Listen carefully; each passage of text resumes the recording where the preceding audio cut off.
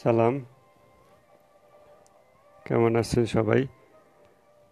আজকে এই টপিকটা নিয়ে একটু এমনি কথা বলতে ইচ্ছা হলো। আমি আসলে এখন যে বিষয়ে ইয়ে করতেছি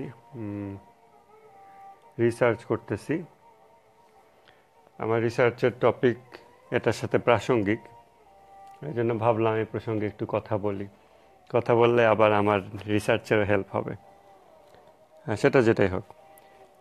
তো ব্যাপারটা আমি আসলে যেটা নিয়ে কাজ করতেছি সেটা হলো ফেসবুক এবং সোশ্যাল মিডিয়াতে আমরা অনেক ছেলেপেলের কথা জানতে পারি, যারা সুইসাইডাল টেন্ডেন্সি যাদের আছে, তারপরে যারা ডিপ্রেশনে ভুগতেছে, অর্থাৎ নানাভাবে নেগেটিভ এনার্জির মধ্যে যারা আছে। এরকম অনেকের কথা আমরা সোশ্যাল মিডিয়াতে পাই, আমাদের ফ্রেন্ড সার্কেলের মধ্যে, আশপাশের মানুষের মধ্যে, যাদেরকে আমরা পাই। কেউ একজন লাইভে আসতে চাচ্ছেন, কি বিষয়ে কথা বলবেন একটু টেক্সট করলে ভালো হয়। তো এটাকে কীভাবে সফটওয়্যার ইউজ করে এই মানুষদেরকে হেল্প করা যায়, এটা নিয়ে আমি রিসার্চ করতেছি, আপাতত। সেটা মূল আলোচনার বিষয় না। যেটা যে গল্পটা বলতে আসলাম, সেটা হলো যে গত বছর গত বছর আমি যখন দেশে ছিলাম ছুটিতে, ওই সময়ে আমার মনে আছে যে আমি ফেসবুকে নিউজ ফিডে স্ক্রল করছিলাম। স্ক্রল করতে করতে তখন একটা পোস্ট দেখলাম আমার কাজিনের ফ্রেন্ড তো ছোট, আমার থেকে ছোট, অবশ্যই জুনিয়র কলেজ পড়ুয়া। তা আমি তার কোনো একটা পোস্ট আমার চোখে আটকে গেল। তার সাথে এমনিতে আমার ইন্টারাকশন হয় না। ফেসবুকে অ্যাড আছে কিন্তু কথাবার্তা হয় না। তো এমনি একটা পোস্ট দেখলাম, মন খারাপ হয়তো ব্রেকআপ হয়েছে বা এই ধরনের কোনো বিষয় থেকে সে এরকম একটা পোস্ট লিখেছে। তো তখন ওটা দেখে আমার যেন কেমন একটু মাথায় ক্লিক করল কিছু একটা। আমি তখন তাকে নক দিলাম মেসেঞ্জারে নক দিয়ে বললাম যে, সালাম, কি অবস্থা? কেমন আছেন? এই সেই কথাবার্তা বললাম। তো ঠিক ওই সময়েই ঠিক ওই সময়ই ওই ছেলেটা কতগুলো ওষুধ খেয়েছে। হুম? কি যেন, আমি তো ওষুধের নাম জানি না, যেগুলো মানুষ মানে ঘুমের ওষুধ যেগুলো খেলে মানুষ বেশি খেলে মারা যায়, এ ধরনের সে বেশ কয়েকটা খেয়েছে, বাকিগুলো খাওয়ার আগে সে স্ট্যাটাস দিয়েছে। তখন ওই মুহূর্তে আমি তাকে নখ দিয়েছি লাকিলি আল্লাহ রহমত। তখন আমি তার সাথে কথাবার্তা দু একটা বলার পরেই বললাম, কি কি হয়েছে, না হয়েছে, কথা বলতে বলতে বের হলো, এই কয়েকটা খাইছে। তখন আমি আমার আমার হাতে যত কাজকর্ম ছিল, যা ছিল, আমি আমার সব কাজ ফেলে দিয়ে সব বাদ দিয়ে আমি তার সাথে কথা বলতেছি, শুধু মেসেঞ্জে চ্যাটিং করতেছি সারাক্ষণ তার সাথে। করতে করতে তারা, তাকে নানাভাবে কনভিন্স করে তারপর তার যে বাকি ওষুধগুলো ছিল খাওয়ার জন্য সেটা যে রেখে দিয়েছিল সে, সেই বাকি ওষুধগুলো তাকে দিয়ে ফেলাই দিলাম। সেগুলো নিয়ে টয়লেটে গিয়ে ফ্ল্যাশ করে ফেলে দিয়ে আসলো, এরকম এরকম।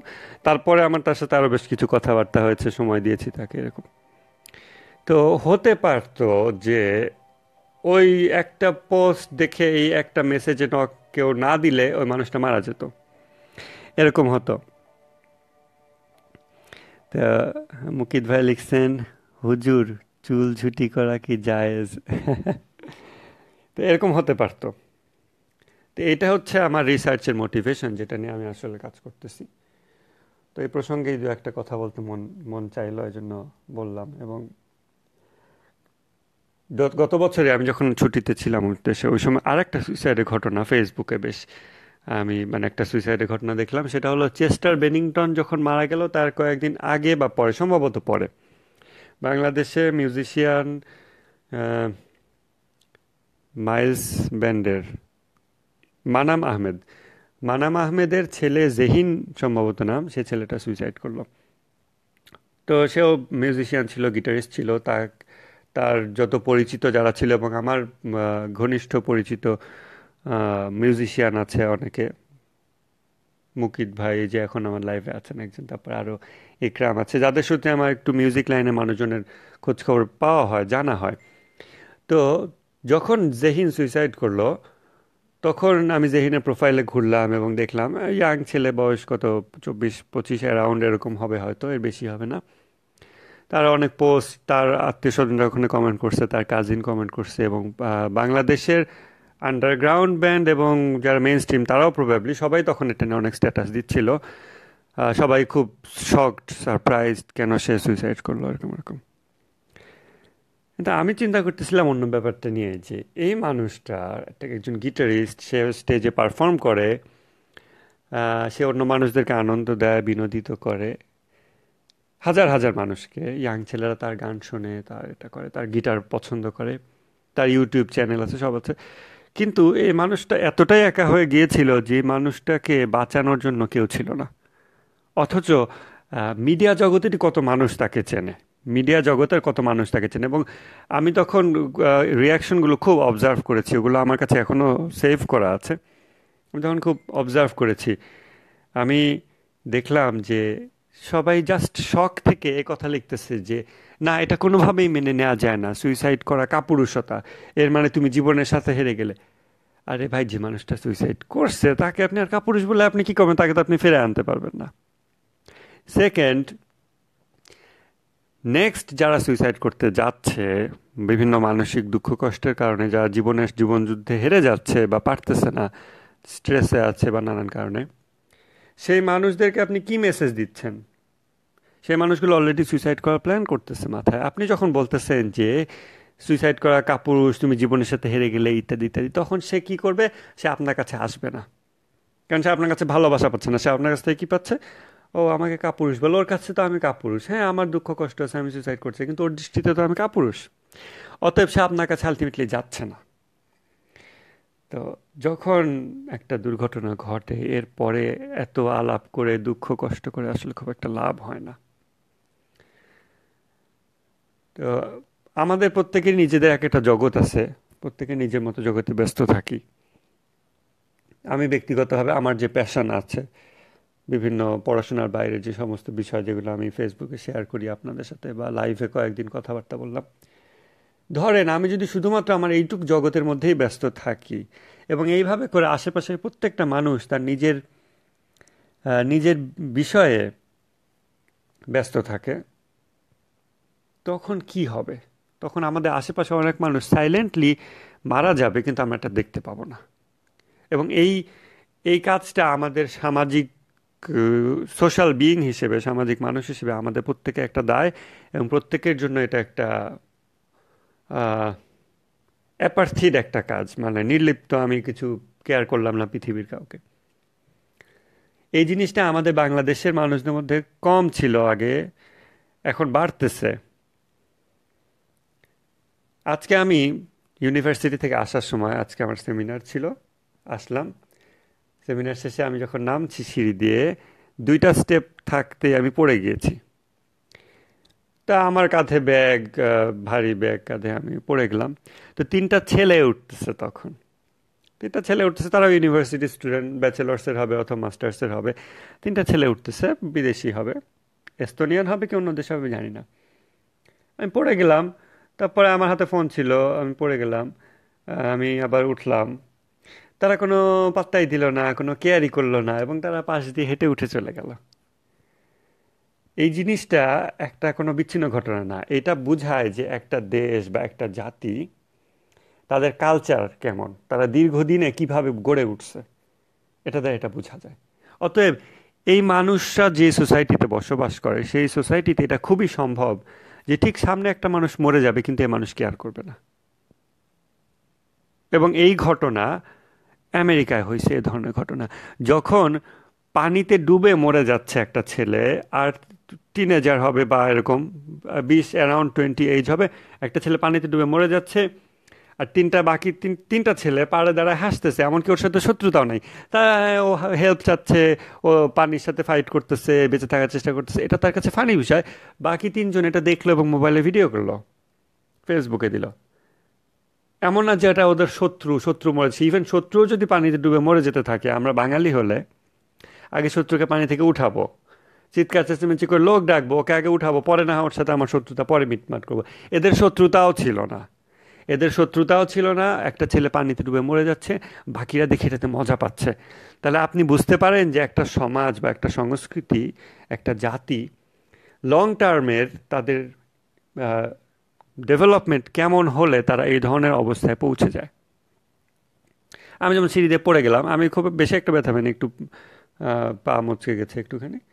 বাট স্টিল একটা মানুষ পড়ে যেতে গেলে আমরা বলি, আমি যেটা সবসময় দেখে আসছি বাংলাদেশে আরে কি হয়েছে? ভাই ব্যথা পাইছেন না? ব্যথা পান নাই তো? কী হলো?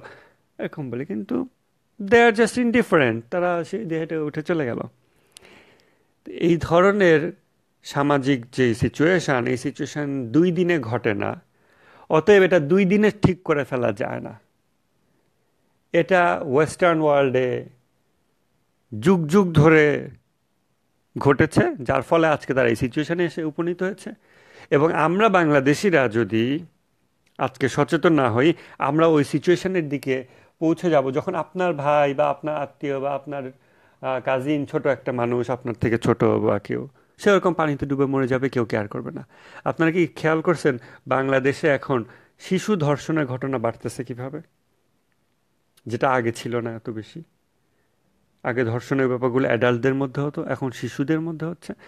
এটা দুই দিনে ঘটে নাই যে আপনি দুটা মানববন্ধন করে অথবা শাস্তি চাই, কঠোর শাস্তি হোক, ক্যাপিটাল পানিশমেন্ট হোক, মৃত্যুদণ্ড দিলেই এগুলো সমাধান হয়ে যাবে তা না। কেননা এই সাইকোলজি গড়ে উঠতে কয়েক যুগ সময় লাগছে। অতএব সেই কয়েক যুগ ধরে যেই রোগ ভিতরে, সমাজের ভিতরে আস্তে আস্তে বাসা বাঁধছে, সেটা আজকে আমরা চোখে দেখতে পাচ্ছি। অতএব আমরা যদি এখনই স্টেপ না নেই পজিটিভ স্টেপ পজিটিভ এনার্জি তাহলে কি হবে? আরও খারাপ হবে। আমরা আর আমরা যদি এখন স্টেপ নেই, তখন আগামী পাঁচ সাত বছরও এই ঘটনাগুলো ঘটতে থাকবে। শিশু ধর্ষণ হবে, ধর্ষণ বাড়বে, হত্যা হবে, এটা হবে, হতে থাকবে। কিন্তু এক সময় গিয়ে কমবে। হয়তো আরও আঠারো বছর, সতেরো, আঠারো বছরের মাথায় গিয়ে আমাদের সোসাইটিতে এই জিনিসগুলো কমবে। বাট এটা স্টেপ তো আমাদেরকে এই সময় নিতে হবে।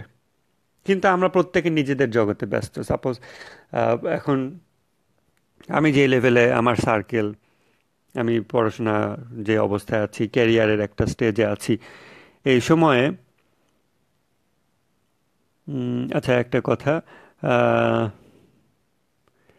মানিক ভাই, আপনারা এবং আরেকজন হাবিব ভাই, আপনারা ওনার অন্য একটা বিষয়ে প্রশ্ন করছেন, সেটা আমরা তো ইনবক্সেই গল্প করতে পারি, আলাপ করতে পারি। আজকে এমনি অল্প একটু একটা বিষয় আলাপ করতেছি। তা আমরা প্রত্যেকে যদি নিজেদের জগতে এইরকম ব্যস্ত থাকি এবং আশেপাশের দিকে না তাকাই, তখন এই সিচুয়েশন হবে। তখন এই সিচুয়েশন হবে। যেমন মানাম আহমেদ মিউজিশিয়ান তার ছেলে সুইসাইড করল। ছেলেকে সে বাঁচাতে পারল না। আবদুল্লাহ আওয়াল আরমান, ওয়ালাইকুম আসসালাম, কেমন আছেন? তার এত মিউজিশিয়ান সার্কেল কেউ তাকে বাঁচাতে পারল না। মারা যাওয়ার পর কথা বলে তো লাভ নেই, আমরা তো মানুষটাকে বাঁচাতে পারলাম না। অতএব কি এমন কাজ যেটা আমরা করলে এই মানুষগুলো সুইসাইড থেকে বেঁচে যাবে ডিপ্রেশন থেকে বাঁচবে? আমাদের নিজেদেরকে বদলাতে হবে সেজন্য।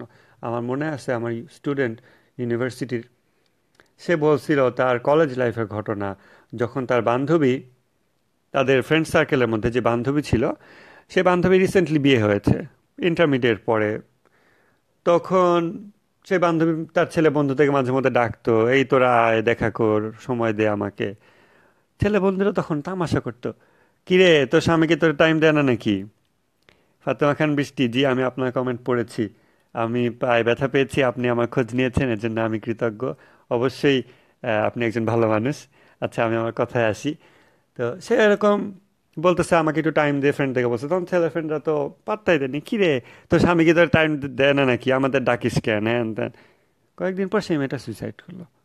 তখন সদ্য কলেজ পাশ করা ছেলেরা, তারা তখন এটা তাদের কাছে একটা বড় আঘাতের মতো, ওই সময় তারা এটা শিখলো। যে হ্যাঁ সব সময় বন্ধু বান্ধব মানেই এটা না যে শুধু ফুর্তি, তামাশা, একজন আরেকজনকে পচানো। Sometimes you have to be serious কোনো কোনো সময় আপনাকে সিরিয়াস হতে হবে এবং আপনাকে আপনার সার্কেলের মধ্যে, আপনার পরিচিত মহলে, তাদের কাছে আপনার সার্বিক চলাফেরায় এমন একটা মেসেজ দিতে হবে যে হ্যাঁ আপনি একজন নির্ভরযোগ্য মানুষ, আপনার কথা, আপনি আরেকজনের কথা শুনবেন, তাকে অ্যাটলিস্ট আপনি ভালোবাসা দেবেন। তার সাথে একটু সময় কাটাবেন। আপনি এরকম মানুষ। আপনি সবসময় ফান করার মধ্যে ব্যস্ত থাকেন না।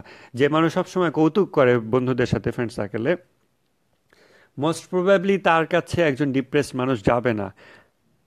তা আমরা যদি এভাবে প্রত্যেকে নিজেদের সার্কেলের মধ্যে বন্দি থাকি সাপোজ আমি আমার ক্যারিয়ারের বিষয় নিয়ে ব্যস্ত, আমি আমার দিনরাত চব্বিশটা ঘণ্টা যদি আমার শুধু জাস্ট আমার পিওর প্রফেশনাল ক্যারিয়ার নিয়ে ব্যস্ত থাকি এবং সেই সার্কেলের মধ্যে চলাফেরা করি, তখন যেটা হবে আমার এরকম হবে।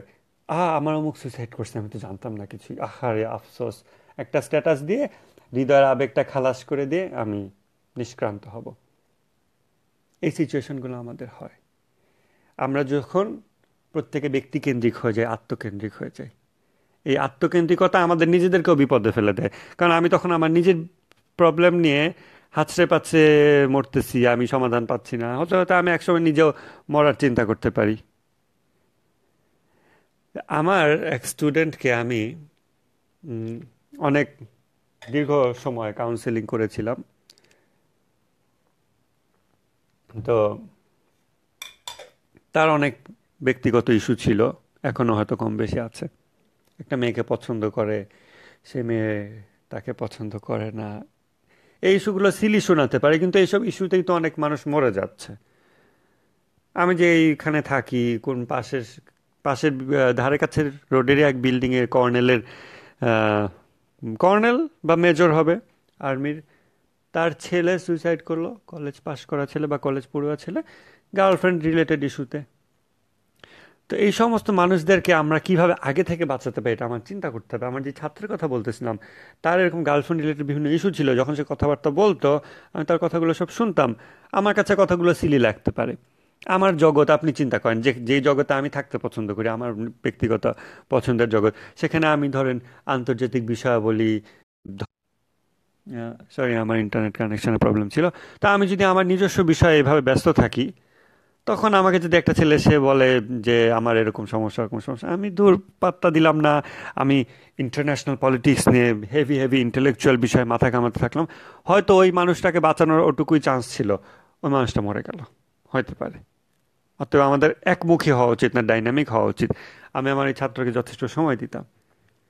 তো আমি যখন এবার স্পেনেতে আসি, আসার আগে আমি তাকে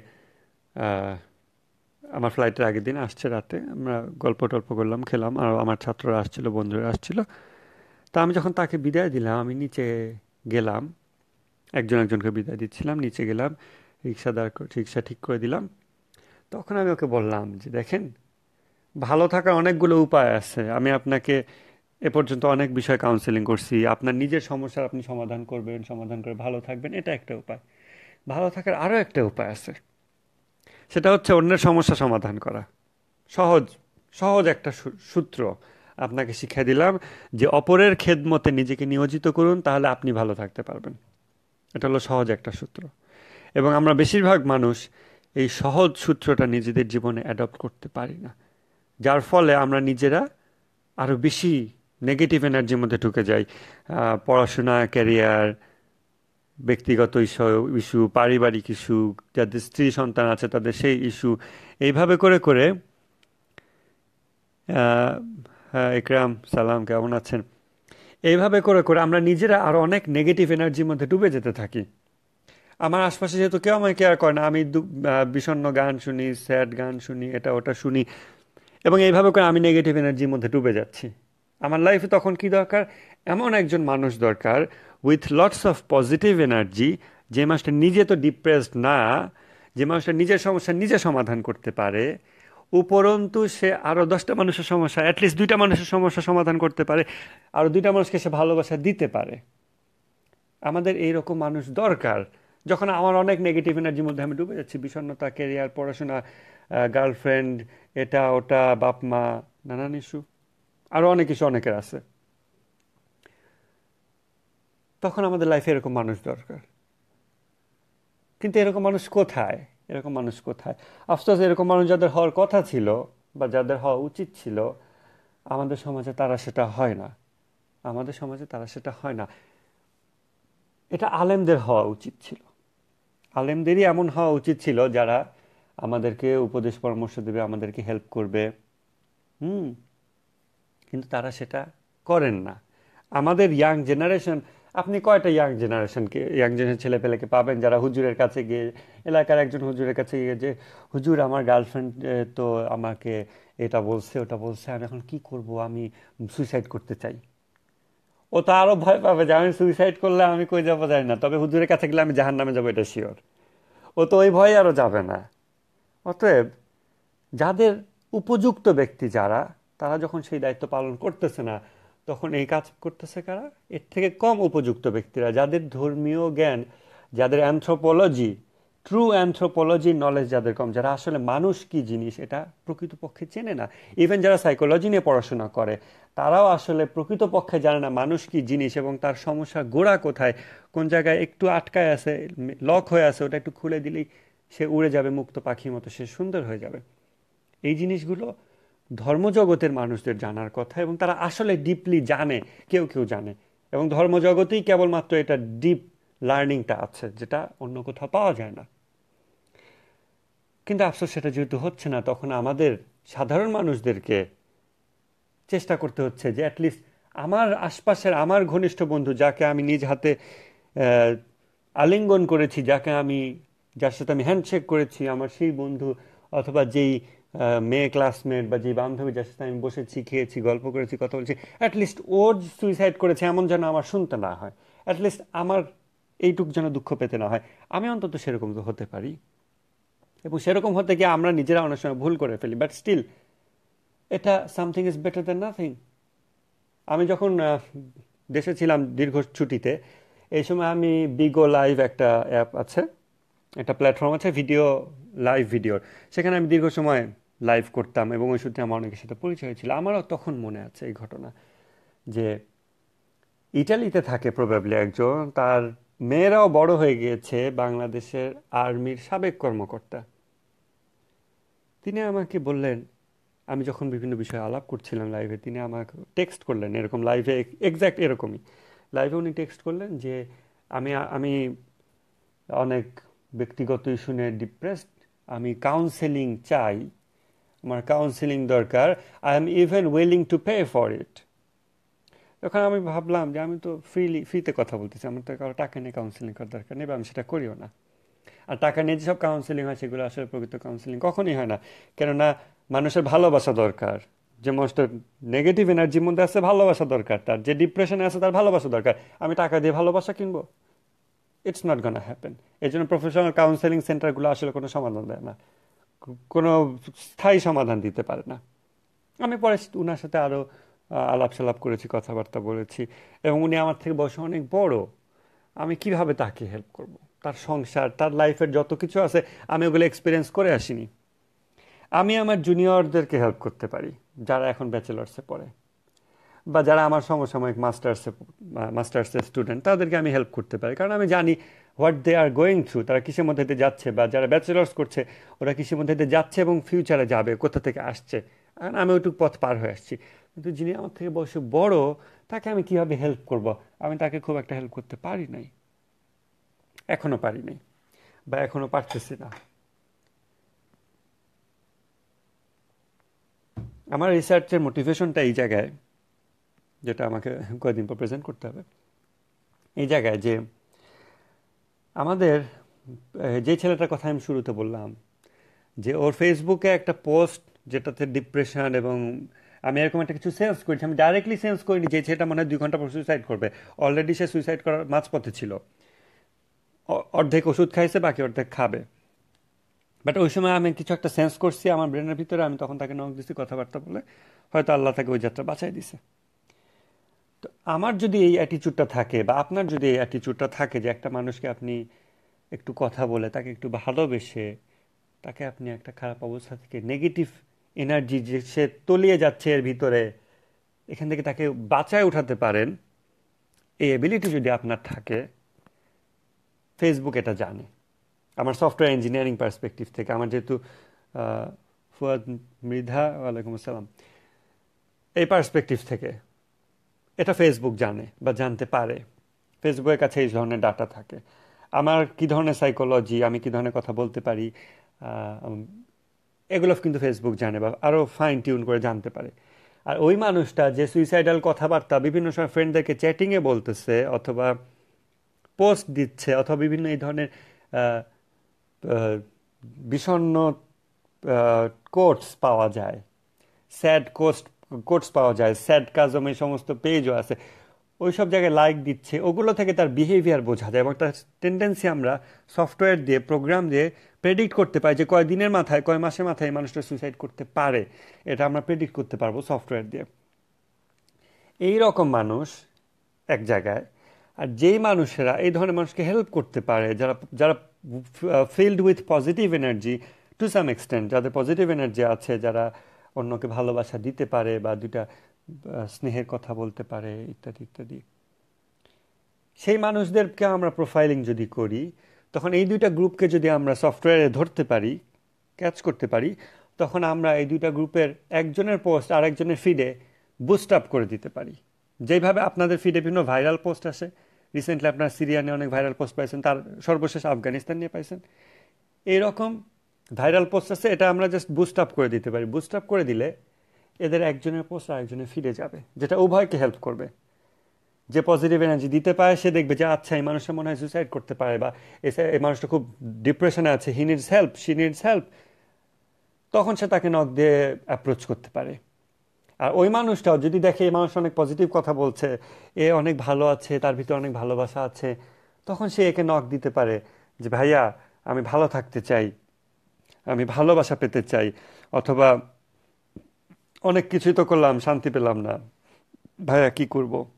এটা সে বলতে পারে। তো এই জিনিসটা কীভাবে সফটওয়্যার ইঞ্জিনিয়ারিং লেভেলে করা যায় যেন আমরা মানুষকে হেল্প করতে পারি, এটা হচ্ছে আমার রিসার্চের বিষয়।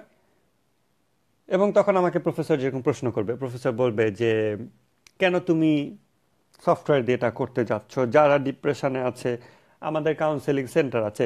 ইভেন আমাদের ইউনিভার্সিটিতে কাউন্সেলিং এর সেন্টার আছে, যেখান থেকে মাঝে মধ্যে ইমেইল আসে। এবং আমার মনে আছে, আমার যখন ওরিয়েন্টেশন হয় দু হাজার ষোলোতে, আমি যখন প্রথমে এখানে আসি ওরিয়েন্টেশনে আমাদের সাইকোলজিস্ট এসেছিল। পুলিশ এসেছিল, অনেক অনেক, তিন দিন ব্যাপী ওরিয়েন্টেশন হয়। সাইকোলজিস্ট বলেছিল যে, দেখো আমাদের আলাদা কাউন্সেলিং সেন্টার আছে ইউনিভার্সিটির ছাত্রদের জন্য বিশেষভাবে। এবং তোমাদের যাদের রুমমেটের সাথে বিভিন্ন ইস্যু হয় বা হবে প্রফেসরের সাথে বিভিন্ন রিলেশন বা ইস্যু হবে, এগুলো নিয়ে যদি তোমরা প্রবলেম ফিল করো, এমন প্রবলেম যে কারণে তোমাদের পড়াশোনা ব্যাহত হচ্ছে, তখন তোমরা আমাদের কাছে আসতে পারো, আমরা তোমাদেরকে রিয়েলিস্টিক সলিউশন দেব। ওই কথা থেকে আমি ওই দিন বুঝছিলাম যে এই ধরনের ঘটনা এখানে ঘটে। রুমমেটের সাথে, হয়তো ঝগড়া, মারামারি বা রেশারেশি, অথবা রুমমেটের সাথে কিছু একটা ইমোশনাল রিলেশন অথবা প্রফেসর কারণ আমাদেরকে প্রফেসরদের সাথে খুব ক্লোজলি কমিউনিকেট করতে হয়। আমাদের বাংলাদেশে যেরকম আমরা টিচারদের থেকে পালাই, এখানে তো সেটা না টিচারদের সাথে আরও ফ্রেন্ডলি রিলেশন ডেভেলপ হয়ে যায়। টিচারের রুমে যেতে হয়, বসে আলাপ করতে হয় ঘণ্টার পর ঘণ্টা ইমেল কনভারসেশন কল, ফোনে কথাবার্তা ইত্যাদি করতে করতে হয়তো প্রফেসরের সাথে ভালোবাসা সম্পর্ক হয়ে গেছে, প্রেম হয়ে গেছে বা প্রফেসর অনেক বুড়া কিন্তু এই মেয়ের ওকে ভালো লাগে, অথবা মহিলা প্রফেসর এই ছেলের ওকে ভালো লাগে, কিছু একটা হয়ে গেছে। এখন কি করবে? আমি আমার থিসিস করব, আমার রিসার্চ কমপ্লিট করব, নাকি আমি প্রফেসরের প্রেমে মুগ্ধ হয়ে থাকব? প্রফেসর যখন আমাকে পড়া বুঝে আমি তো হা করে তাকে আসি এই সমস্যার সমাধান দেওয়ার জন্য ওদের কাউন্সিলিং সেন্টার আছে। কয়জন এই কাউন্সিলিং সেন্টারে যাবে? মানুষের সাইকোলজিক্যাল প্রবলেম এবং উপরের লেভেলে গেলে স্পিরিচুয়াল প্রবলেম এগুলো হচ্ছে এমন প্রবলেম যে প্রবলেমগুলো মানুষ নিজে অ্যাকনলেজ করে না নিজের কাছে। আমাদের যখন জ্বর হয় বা আমার হাত ভেঙে গেছে, পায়ে ব্যথা সামথিং রোগ হয়, আমরা এটাকে ইজিলি অ্যাকনলেজ করি যে আমি রোগী। আমার রোগ, আমার একটা সমাধান দরকার। আমরা ডাক্তারের কাছে যাই। আমার মনের যখন রোগ হয়, আমি তখন ডাক্তারের কাছে যাই না, কারণ এটাকে আমি রোগ মনে করে স্বীকার করতে চাই না নিজের কাছে। আমি আত্মপ্রতারণা করি। আমি যখন ডিপ্রেশনে আছি, এটাকে আমি রোগ বলে স্বীকার করতে চাই না। আমি কেন ডাক্তারের কাছে কেন আমি কাউন্সিলের কাছে কেন আমি তাকে বলব, আমি আসলে ডিপ্রেশনে আছি, আমি এর থেকে বেরোয় আসতে চাই। ওকে আমি টাকা দিচ্ছি। টাকার বিনিময়ে আমি ওর কাছ থেকে সমাধান পাবো। It's not gonna work and it doesn't work যে কারণে ইউরোপে প্রচুর কাউন্সেলিং সেন্টার আছে।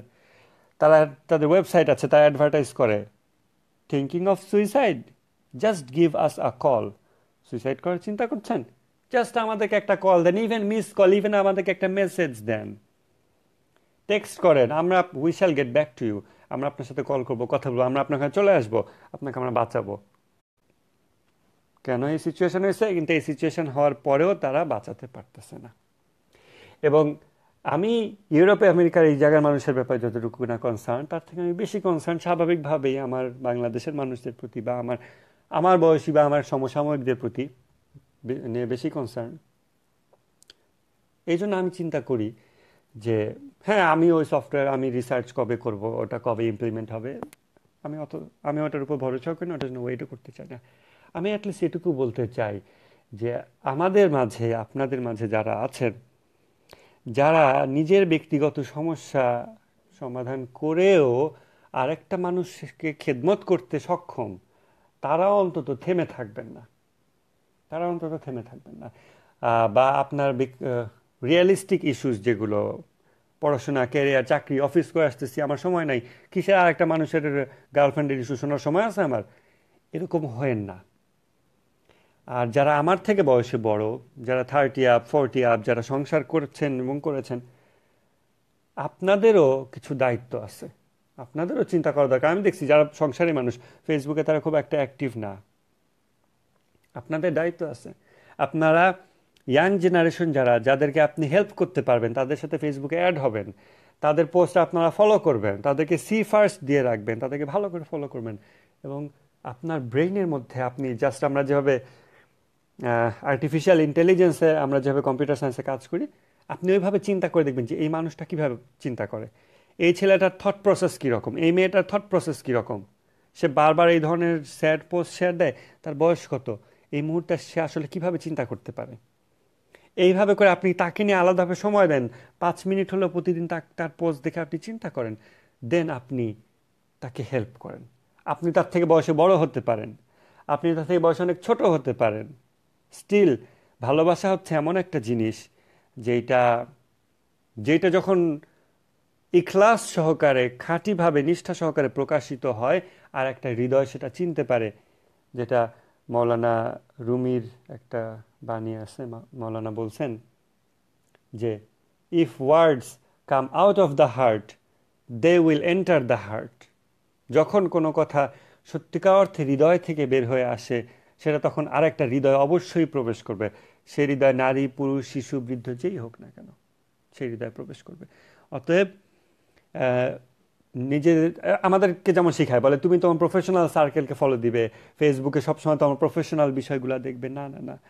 এই কথাগুলো যারা বলে, তারা মানুষ চেনে না, তারা জানে না মানুষ কি জিনিস। আপনার সব সার্কেলে উঠা বসা রাখতে হবে। আমি, আমার বিভিন্ন সার্কেলে উঠা বসা আছে আল্লাহ রহমতে। যার মধ্যে আমি দেখছি, প্রায় প্রত্যেককেই আমি দেখছি তারা শুধুমাত্র নিজের সার্কেলের মধ্যে ডুবে আছে। যেমন অনেক সুফিবাদী লোকজনের সাথে আমার পরিচয় আছে আল্লাহ রহমতে। বাংলাদেশের বাংলাদেশের বাইরে, বিভিন্ন দেশে বিদেশি, এরকম এরকম। তারা কি করে? শুধুমাত্র ওই সার্কেলের মধ্যে ডুবে থাকে এবং এর বাইরের মানুষকে তারা পাত্তাই দেয় না। কীভাবে কথা বলে আপনি জানেন? যেটা আমার নিজের ব্যক্তিগতভাবে দুঃখ লাগছে। তার কাছে, তাকে আমি কষ্ট দিতে চাই না। তাকে আমি সম্মান, শ্রদ্ধা করি। অন্য মানুষদের ব্যাপার, এভাবে। আরে ভাই, ওরা কি এগুলো বোঝে নাকি? ওরা এগুলো ওরা কোন স্তরের মানুষ? ওরা এগুলো বোঝে? জাস্ট দুইটা হিন্স দিয়ে কথা বলে দিলাম। আমি বললাম যে ভাই, এটা আমি মনে মনে হলাম যে এটা কেমন ধরনের কথা? আর একটা মানুষ বোঝে না, সে নিচু স্তরের, আপনি আধ্যাত্মিক বিষয়, উঁচু বিষয় বোঝেন, আপনি হৃদয়ের জগৎ বোঝেন অন্য মানুষটা নিচু স্তরের, আপনি তাকে যদি হেল্প না করেন, আল্লাহ আপনাকে এই উপরের স্তর দিছে কিসের জন্য? আপনাকে তো আল্লাহর উপরের স্তরে উঠতে দিবে না। আপনি যদি খেদমতে খাল ভুলে যান, সৃষ্টির সেবা ভুলে যান, আল্লাহ কখনোই আপনাকে উচ্চ স্তর দেবে না। আপনি যদি স্পিরিচুয়ালি হাই লেভেল উচ্চ মাকাম আপনি মনে করেন আপনি পেয়েছেন, ওটা হবে ইন্টেলেকচুয়ালি নট ট্রু স্পিরিচুয়ালি তো এই যে একটা নিজস্ব, নিজের একটা টাইপের মধ্যে ডুবে থাকা। তারপরে অনেক ছেলে পেলে আছে, যখন আপনি দেখবেন সিরিয়া বিষয়ে ভাইরাল হচ্ছে নিউজ আফগানিস্তান বিষয়ে ভাইরাল হচ্ছে নিউজ ওই সময় সবাই কিন্তু এগুলো নিয়ে শেয়ার দিচ্ছে, বা একটা ধর্ষণের ঘটনা খুব ছড়াইছে। সবাই ওটা নিয়ে শেয়ার দিচ্ছে। এর মধ্যেও যখন একটা, দুইটা ছেলে বা মেয়ে অন্য বিষয়ে পোস্ট শেয়ার করতেছে, ওই বিষয়ে কিছুই শেয়ার করতেছে না লাইক কমেন্টও করতেছে না। কি বিষয় শেয়ার করতেছে? রান্নার রেসিপি তখন আপনার বুঝতে হবে যে এই মানুষটা কতটা ডিসকানেক্টেড সোসাইটি থেকে। কারণ ফেসবুকে যে মানুষগুলো আছে ফেসবুক সোসাইটি বর্তমানে এই মুহূর্তে যে ইন্ডিয়াতে এক মেয়েকে রেপ করে মেরে ফেলেছে। আমি নামটা এই ভুলে গেলাম। এখন তাকে নিয়ে অনেকে ব্যস্ত, তাকে তার কথা অনেকে চিন্তা করতেছে, শুনতেছে। আমি একটু নামটা দেখে বলি হ্যাঁ? তো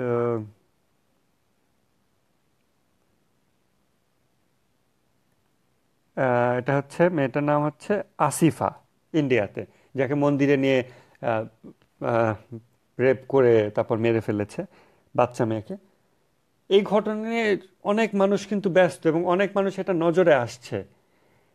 তা সত্ত্বেও ফেসবুকের কিছু কিছু মানুষ হ্যাঁ আসিফা জি ফসল আহমেদ, তা সত্ত্বেও ফেসবুকে আপনার নিউজ ফিডে আপনি দেখবেন এইরকম যখন একটা ভাইরাল ট্রেন্ড চলতেছে, তখন আপনাকে ক্লাসিফাই করতে হবে।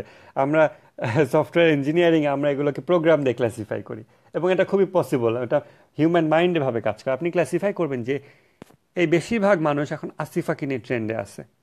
এর মধ্যে অল্প কিছু মানুষই আছে যারা সচেতন। আর বেশিরভাগ হচ্ছে যখন যেটা talk of the town hot topic তখন সেটা নিয়ে শেয়ার দেয়। এটা সত্ত্বেও কিছু মানুষ আসিফার নামও জানতেছে না, আসিফাকে নিয়ে শেয়ারও দিচ্ছে না। তার মানে কি?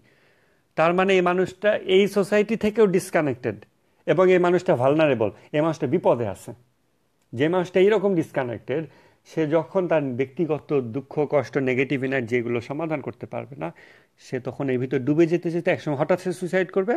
আমরা তখন শুধু rest in peace you will be remembered এগুলো বলে আমরা দায়িত্ব খালাস করব। বাট মানুষটা হারায় যাবে। পে অ্যাটেনশান ওই মানুষটার দিকে অ্যাটেনশান দেন। ভালো করে ফেসবুক নিউজ ফিডকে খেয়াল করেন। কেননা ফেসবুক যা ছিল পাঁচ, সাত বছর আগে, এখন আর তা নাই। বর্তমান ফেসবুক আমাদের প্রত্যেকের ভিতরের কথা বলে। অতএব ফেসবুকের অ্যালগোরিদমের থেকে আপনি অ্যাডভান্সড হন, আপনি দেখেন, আপনি চিন্তা করেন অ্যানালাইজ করেন, কে কী শেয়ার দিচ্ছে, কী কথা বলছে, তার সাইকোলজি কী হতে পারে then try to help or if you need help get some help কিন্তু ডুবে যেন না নেগেটিভ এনার্জির মধ্যে ডুবে যেন না, দুঃখ কষ্টের মধ্যে ডিপ্রেশনের মধ্যে ডুবে যেন না। আমি আমার ফেসবুকের সূত্রে পরিচিত ব্যক্তিগতভাবে পরিচয় হয়নি। কিন্তু এখন যথেষ্ট ভালো পরিচয়। এরকম একজন আছেন, যিনি আমাকে নক করলেন, না, একদিন মেসেজ দিয়েছিলেন ইনবক্সে জাস্ট এটুকুই। তিনি আমাকে এরকম লিখছিলেন যে মাসুদ ভাই, আপনি অনেক ভালো থাকেন। মানে আমি ভালো থাকি, সেটা সে উইশ করতেছে। সে বলছে, আমি জেনারেলি ভালো থাকি। আপনার মতো মানুষদের উচিত, আপনার আশেপাশে যারা ভালো থাকে না, তাদেরকে ভালো থাকতে সাহায্য করা। যখন এই মেসেজটা উনি আমাকে দিল মেস ইনবক্সে আমার থেকে জুনিয়র হবে, তখন আমার আমার তখন বেশ অপরাধ বোধ হলো যে আসলে আমার যতটুকু সামর্থ্য আছে বা ছিল, আমি হয়তো তার সবটুকু দিচ্ছি না বা আমি হয়তো এই মানুষটাকে খেয়াল করিনি, যে মানুষটা আজকে নিজে থেকে আমাকে বলতেছে যে, ভাই, আপনার উচিত আপনার আশেপাশে যারা ভালো থাকে না, তাদেরকে ভালো থাকতে সাহায্য করা। কেন সে এটা বলল? কেন আমি নিজে গিয়ে তাকে ভালোবাসা দিলাম না? কেন আমি নিজে থেকে তার সাথে কথা বললাম না? এবং তার যে জায়গাটা আটকায় আছে, যে জায়গা কারণে একটা পাখি উঠতে পারতেছে না, সেই জায়গাটা আমি কেন খুলে দিতে পারলাম না?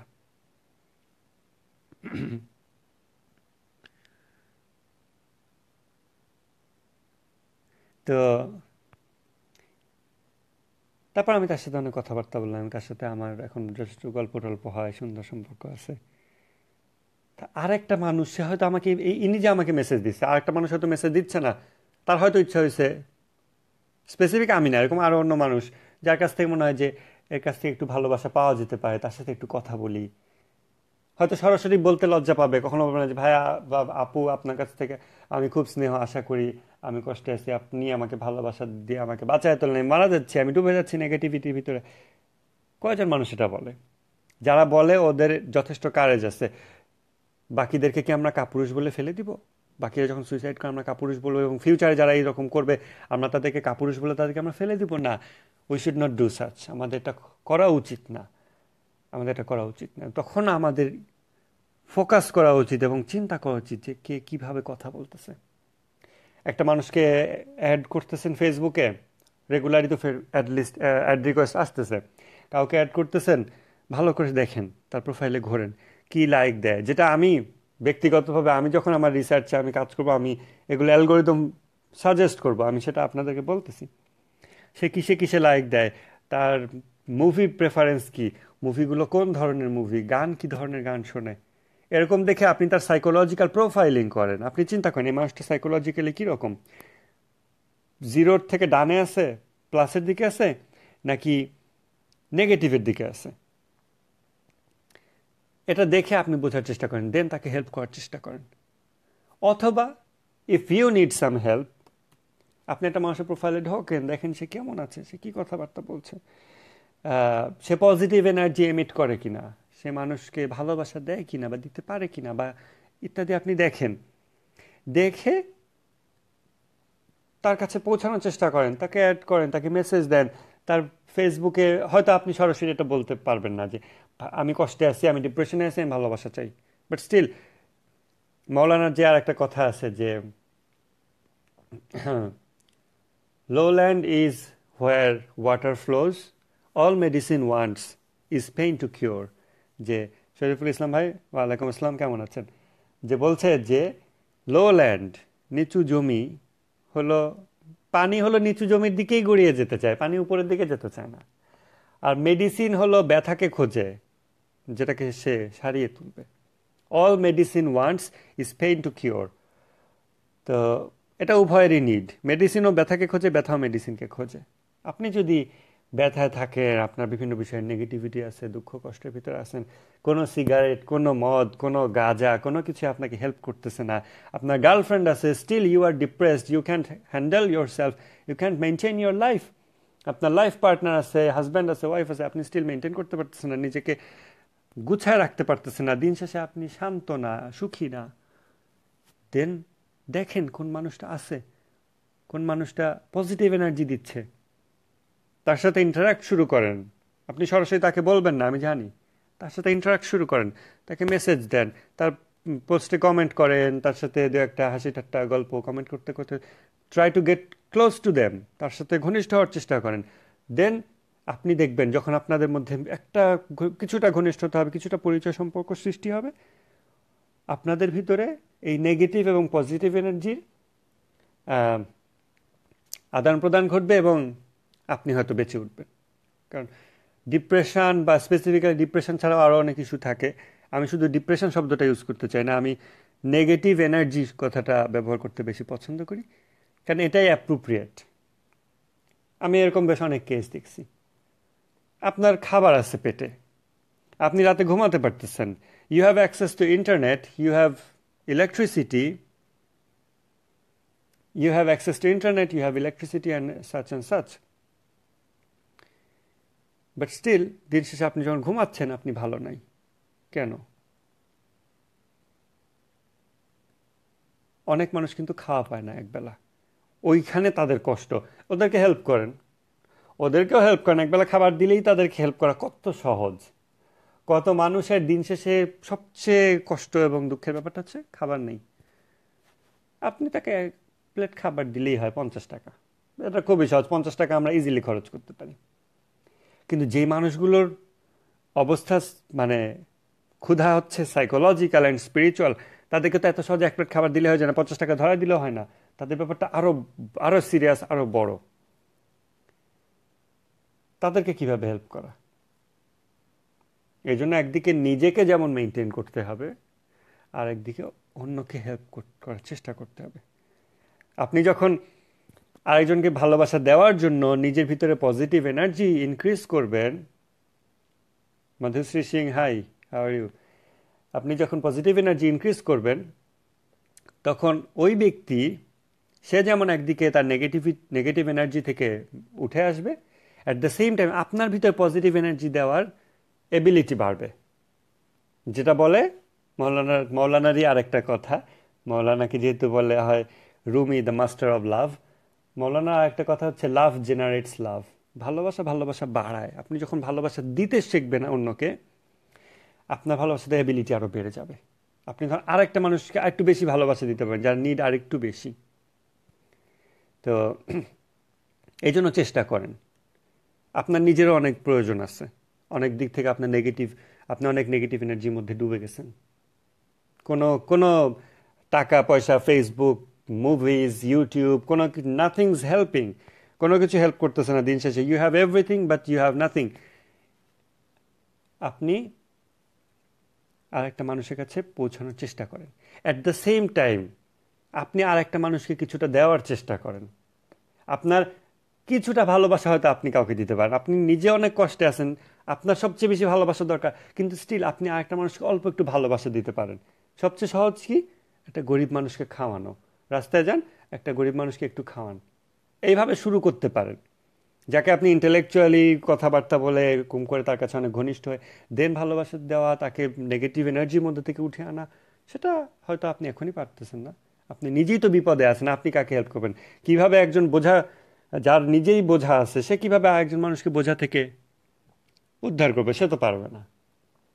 যে নিজে লেড অ্যান্ড সোল সে আর একটা লেড অ্যান্ড সোলকে হেল্প করতে পারে না বাট স্টিল আপনি অল্প একটু হেল্প করতে পারেন। এই হেল্প করেন, আপনার নিজের ভিতরে পজিটিভ এনার্জির একটা ইনফ্লো আপনি ফিল করবেন।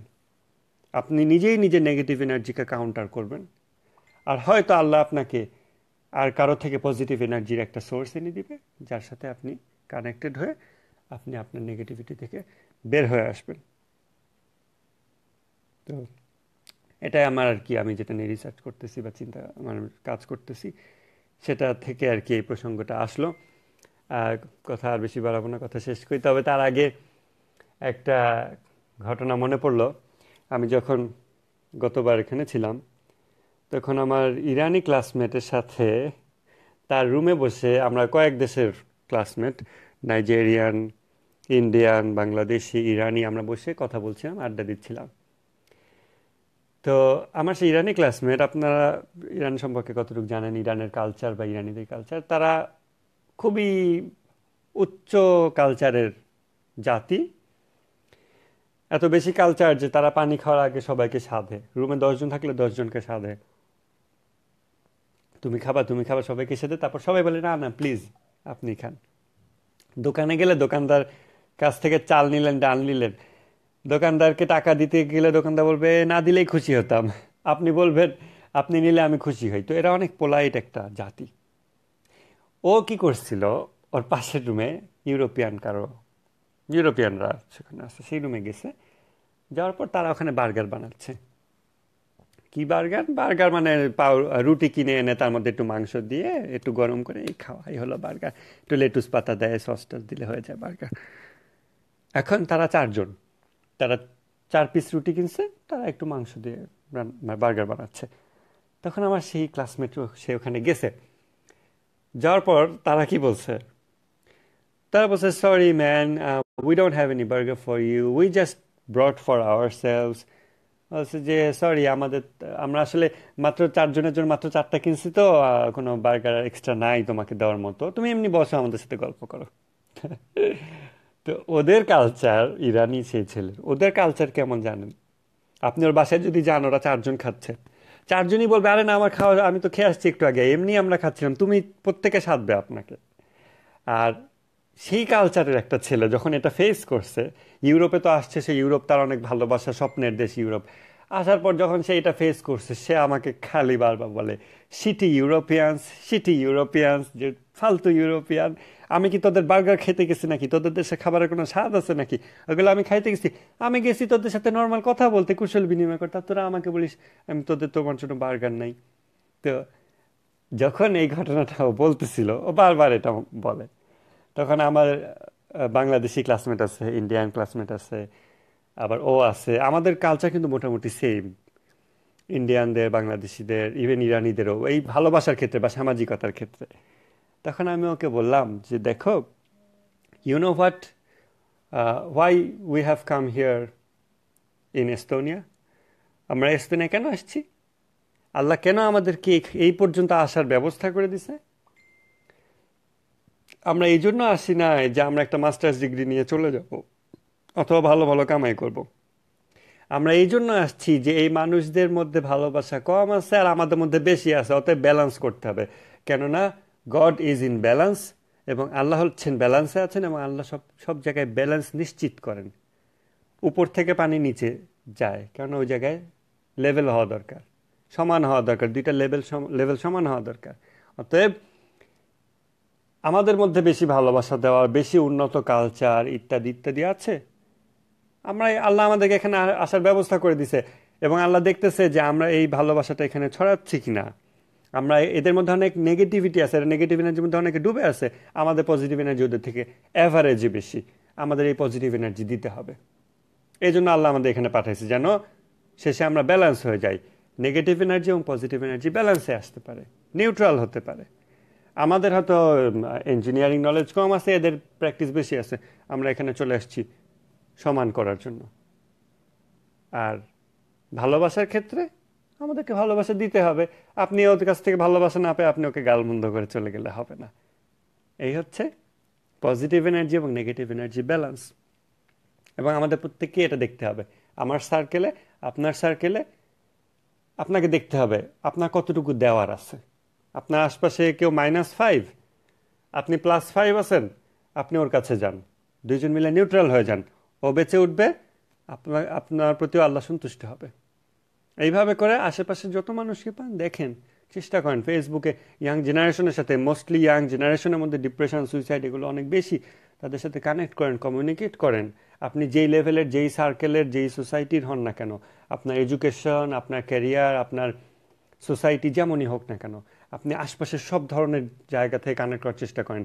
মেবি মেবি আপনি কোনো সফটওয়্যার ইঞ্জিনিয়ারও না, আপনি অনার্স মাস্টার্সও নাই সাপোজ আপনি শুধু ক্লাস এইট পাস স্টিল আপনি যে ভালোবাসাটা দিতে পারেন, সেটা হয়তো অনেকে পারে না। আপনি কানেক্ট করার চেষ্টা করেন, হয়তো পিএইচডি হোল্ডার একজন মানুষকে আপনি বাঁচা বাঁচাতে পারবেন নেক্সট সুইসাইড থেকে। জাপানে যখন, জাপানের টপ টপ টেকনিক্যাল ইউনিভার্সিটির নাম্বার ওয়ান ছাত্রী যখন ছাদ থেকে লাভ দিয়ে সুইসাইড করল, তখন তাকে নিয়ে অ্যানালিসিস রিসার্চ সব কিছুতে ভরে গেল। অনেক মানুষ হয়তো ওই রিসার্চের ফলাফলে বেঁচে যাবে ফিউচারে বাট ওই মেয়েটা কিন্তু শেষ হয়ে গেছে। সে কিন্তু টপ ছাত্রী ছিল। অতএব লুক অ্যারাউন্ড চারিদিকে তাকান এবং আমাদের আশেপাশে অনেক মানুষ আছে, তাদেরকে হেল্প করেন। নিজেও বাঁচেন, অন্যদেরকে বাঁচান। আল্লাহ বলছেন, বারবার কোরআনে আছে, নামাজ এবং জাকাত নামাজ এবং জাকাত জাকাত মানে শুধু এই না যে আপনার সাড়ে সাত ভরি গোল্ড হওয়ার পর, সমপরিমাণ সম্পদ হওয়ার পর আপনি দান করবেন। দ্যাট ইজ নট অনলি জাকাত ওটা জাকাতের একটা রূপ। জাকাতে আরও রূপ আছে, আপনার জ্ঞান থাকলে এটা দান করেন, এটা জাকাত ভালোবাসা দিতে পারেন আপনি মানুষকে, এটা দান করেন, এটা জাকাত আল্লাহ নামাজের পরপরই জাকাতের কথা বারবার বলছেন বারবার বলছেন, নামাজ জাকাত নামাজ জাকাত সালাদ কায়েম করো জাকাত দান করো। মানে আপনি নামাজ পড়ে উঠেই আপনি জাকাত আপনি কি জাকাত দিচ্ছেন? সেটা চিন্তা করেন, নামাজ পড়ে উঠে জাকাত দিচ্ছেন কি? আমার কাজিন যখন আমার সাথে কয়েকদিন আগে রিলিজিয়াস বিষয়ে ডিসকাশন করতেছিল যে স্পিরিচুয়াল অ্যাডভান্সমেন্ট এবং আত্ম উন্নয়ন আত্মশুদ্ধি কীভাবে করা যায়, নামাজে আমি অনেক চাচ্ছি, আল্লাহর কাছে এটা, ওটা প্রার্থনা করছি। আমি বললাম যে, দেখো, নামাজের সাথে সাথে জাকাত, নামাজের সাথে সাথে জাকাত, তুমি কি জাকাত দিচ্ছ? সবচেয়ে সহজ জাকাত হচ্ছে একটা গরিব মানুষকে দান করা। টাকা দিয়ে দান করা হলো সবচেয়ে সহজ জাকাত। এর থেকে উপরের স্তরে জাকাত আছে, কাউকে ভালোবাসা দেওয়া, কাউকে ইন্টেলেকচুয়াল হেল্প করা যে কোনোভাবে হেল্প করা। তুমি প্রতিদিনকে জাকাত দিচ্ছ? পাঁচক তো নামাজ পড়তেছো। দিনে পাঁচটা জাকাত কি দিচ্ছ? খুঁজে দেখো, পাঁচটা জাকাত দিচ্ছ কিনা? তুমি সচেতনভাবে এই মানুষটাকে আমি ভালোবাসা দিলাম, একে আমি হেল্প করলাম, একে আমি বাঁচালাম, একটু একটু করে প্রতিদিন জাকাত দাও। প্রতিদিন পাঁচক তো নামাজ যেমন পরকালে উতরে দেবে, প্রতিদিন পাঁচক তো জাকাত এই দুনিয়ার বুকে জান্নাত সৃষ্টি করবে। অথবা নামাজ পড়েও হয়তো আমরা দুনিয়ার বুকে অশান্তিতে, দুঃখ, কষ্ট ডিপ্রেশনে থাকব। নামাজ আমাদেরকে হেল্প করবে না। নামাজ তো একা না। নামাজের সাথে তো জাকাত আছে। নামাজ পড়ে উঠে জাকাত দেন, ভালোবাসেন। আশপাশে তাকান, কাউকে হেল্প করেন। অনেক মানুষ আছে। নিজে বাঁচেন, আরেকজনকে বাঁচান। তো যারা সালাম দিচ্ছেন যারা মেসেজ করছেন, সবাইকে ধন্যবাদ। তো আমি বিদায় নিতে চাই। সবাই ভালো থাকেন। খুদা হাফেজ।